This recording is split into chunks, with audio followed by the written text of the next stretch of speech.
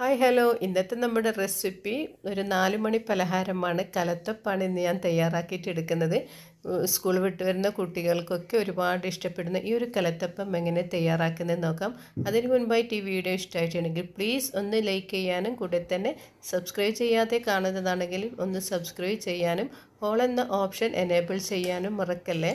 ഇനി ഇനി നമുക്ക് നമ്മുടെ റെസിപ്പിയിലേക്ക് കിടക്കാം.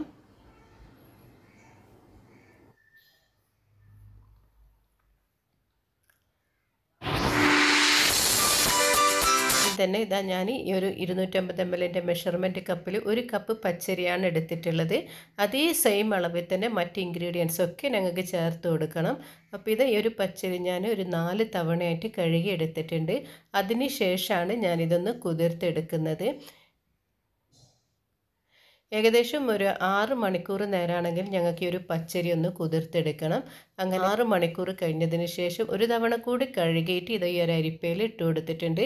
ഇതിൽ നിന്ന് ആ വെള്ളമൊക്കെ ഒന്ന് ഊറിക്കിട്ടട്ടെ.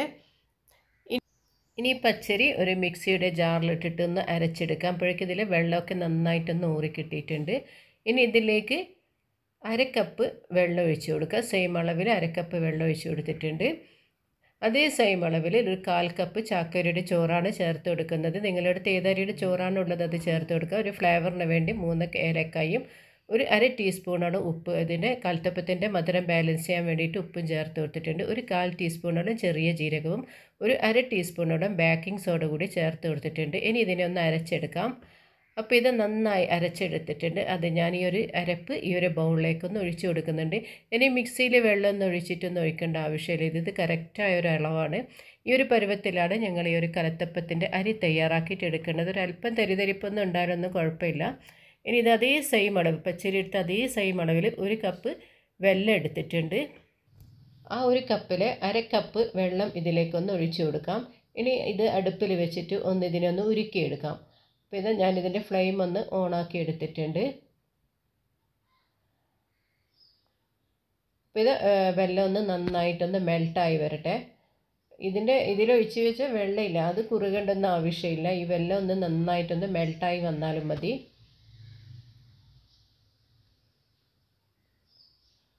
അപ്പോൾ ഇത് ഇതിലുള്ള വെള്ളം നന്നായിട്ടൊന്ന് മെൽട്ടായി വന്നിട്ടുണ്ട്.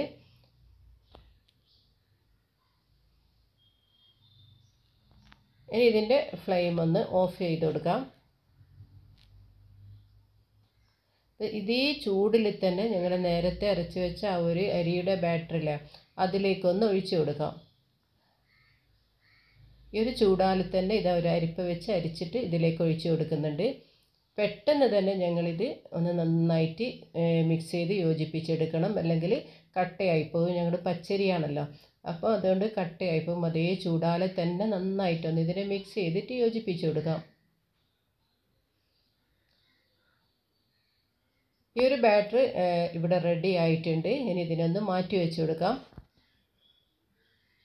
ഇപ്പോഴേക്കും ഇട്ടാൽ ഞാൻ അടുപ്പിലൊരു ചായപ്പാത്രമാണ് വെച്ച് കൊടുത്തിട്ട് സാധാരണ ഞങ്ങൾ കുക്കറിലാണല്ലോ തയ്യാറാക്കിയിട്ട് എടുക്കാറ്. ഇതിലേക്ക് ഞാൻ ഈ ഒരു പാത്രത്തിലേക്ക് രണ്ടര ടേബിൾ സ്പൂണോളം വെളിച്ചെണ്ണയാണ് ഒഴിച്ചു കൊടുത്തിട്ടുള്ളത്. ഈ ഒരു കരത്തപ്പം തയ്യാറാക്കിയിട്ട് എടുക്കാൻ വേണ്ടിയിട്ട് വെളിച്ചെണ്ണയാണ് ഏറ്റവും നല്ലത്. അപ്പോൾ ഇതാ രണ്ടര ടേബിൾ സ്പൂൺ വെളിച്ചെണ്ണയാണ് ഇതിലേക്ക് ഒഴിച്ചു കൊടുത്തിട്ടുള്ളത്. നേരത്തെ അളന്ന് വെച്ച അതേ സെയിം അളവിൽ കാൽ കപ്പ് കുത്തിയ തേങ്ങയാണ് എടുത്തിട്ടുള്ളത്. അതിനെ ഇതിൽ നിന്ന് ഈ എണ്ണയിൽ നിന്ന് നന്നായിട്ടൊന്ന് ഫ്രൈ ചെയ്തെടുക്കണം. മാക്സിമം ഒരു കളറ് മാറുമ്പോൾ ഒരു റെഡ് കളർ ആവേണ്ട അതിൽ മുൻപായിട്ട് തന്നെ ഞാനിത് ഒരു കാൽ കപ്പ് ചെറിയ ഉള്ളി ചെറുതായി അരിഞ്ഞത് കൂടി ഇതിലേക്ക് ചേർത്ത് വെച്ചിട്ടുണ്ട് ഇത് രണ്ടും ഈ എണ്ണയിൽ നിന്ന് നന്നായിട്ടൊന്ന് മൂത്ത് വരട്ടെ. തേങ്ങാക്കൊത്ത് ഇട്ട് കൊടുത്ത് കഴിഞ്ഞാൽ ഏകദേശം ഒരു ലൈറ്റ് കളർ ആകുമ്പോഴത്തേക്ക് തന്നെ ഇതിലേക്ക് ചെറിയ ഉള്ളി ചേർത്ത് കൊടുക്കണം. അപ്പോൾ ഇതാ ചെറിയ ഉള്ളിയും തേങ്ങാക്കൊത്തൊക്കെ നന്നായിട്ടൊരു ബ്രൗൺ കളർ ആയിട്ടുണ്ട്.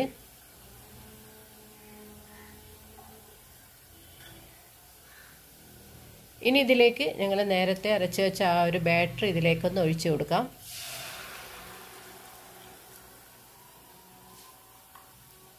അതിനുശേഷം അരി ചെറുതായിട്ടൊന്ന് അടിഭാഗം തട്ടിക്കാണ്ട് മുകൾ ഭാഗത്തു നിന്നൊന്ന് ചെറുതായിട്ടൊന്ന് ഇളക്കി കൊടുക്കാം. കൂടുതലായിട്ട് ശക്തി ഉപയോഗിച്ചിട്ട് ഇളക്കി കൊടുക്കുക. അല്ലെങ്കിൽ കട്ടയായിപ്പോവും. ഇനി ഇത് മീഡിയം ഫ്ലെയിമിലാക്കിയിട്ട് ഇതിനെ ഒന്ന് തയ്യാറാക്കിയിട്ട് എടുക്കാം. ഈ ഒരു സമയത്ത് ഞാനിതിനെ ഒന്ന് അടച്ചു വെച്ച് കൊടുക്കുന്നുണ്ട്. ഇരുപത് മിനിറ്റ് കൊണ്ട് ഞങ്ങളുടെ ഒരു കലത്തപ്പം ഇവിടെ റെഡി ആയിട്ടുണ്ട്. ആദ്യം ഇതാ ഞാനിതൊരു പപ്പടം കുത്തി എടുത്തിട്ട് ഒന്നിന് കുക്കായിട്ടുണ്ടാ നോക്കിയിട്ടുണ്ടായിരുന്നു. അപ്പോൾ ഇതാ നല്ലൊരു അടിപൊളിയായിട്ടുള്ള സോഫ്റ്റ് ആയിട്ടുള്ള കലത്തപ്പം ഇവിടെ റെഡി ആയിട്ടുണ്ട്. എല്ലാ ചേരുവകളും സെയിം അളവിൽ എടുത്തു കഴിഞ്ഞാൽ ഞങ്ങൾക്ക് നല്ല പെർഫെക്റ്റ് ആയിട്ടുള്ള നല്ല സോഫ്റ്റ് ആയിട്ടുള്ള നല്ല ആരോട് കൂടിയിട്ടുള്ള കലത്തപ്പം ഇവിടെ റെഡിയാക്കി എടുക്കാൻ പറ്റും. ഇതാ ഞാനൊന്ന് കട്ട് ചെയ്തിട്ടൊന്ന് കാണിച്ചു തരാം അപ്പോൾ ഇത് നല്ല ആരോട് കൂടിയിട്ടുള്ള കലത്തപ്പം. ഇത് കറക്റ്റ് അളവിലെടുത്ത് കഴിഞ്ഞാൽ എല്ലാ ചേരുവകളും കറക്റ്റ് അളവിലെടുത്ത് കഴിഞ്ഞാൽ നല്ല പെർഫെക്റ്റ് ആയിട്ടുള്ള കലത്തപ്പം തയ്യാറാക്കിയിട്ട് എടുക്കാം. ഇനി മറ്റൊരു വീഡിയോയുമായി വരുന്നത് വരെ അസ്സാം വലൈക്കും വരഹമത്തല്ലാത്തല വബർക്കാത്ത്